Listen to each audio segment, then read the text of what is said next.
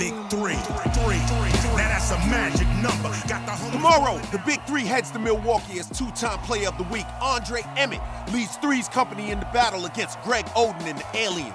Next up, Gary Payton's three-headed monsters try to get back in the win column against MVP candidate ISO Joe Johnson and the Red Hot Triplets. Then, Kenyon Martin's trilogy takes the court, and they desperately need a win against the Ball Hogs to stay in the playoff hunt. This all goes down tomorrow at 4 p.m. on CBS SN.